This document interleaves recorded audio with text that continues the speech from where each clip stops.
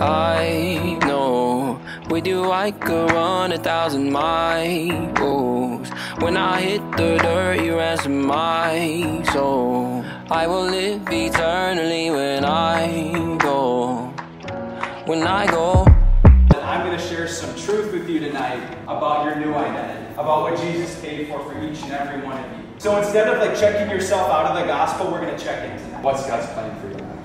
Matthew chapter 10, verse 7 says this As you go, preach this message. The kingdom of heaven is near. Heal the sick, raise the dead, cleanse those who have leprosy, drive out demons. Freely you have received, freely you shall give. What is the one thing that you can bring to heaven besides yourself? People, the people, the people. It's not cool clothes. It's not a big house. It's not a degree or the right job. It's people. Mystery's been revealed. It's Christ in you, the hope of glory, this side of heaven. And our job is to tell people about it.